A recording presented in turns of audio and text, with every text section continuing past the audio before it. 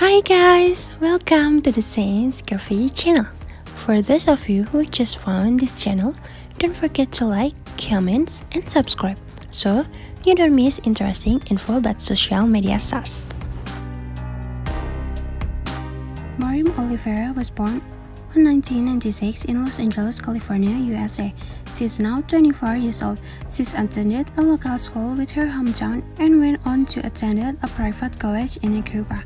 Modeling was her dream career from an early age. In 2019, she began to post bold and beautiful pictures of herself on Instagram.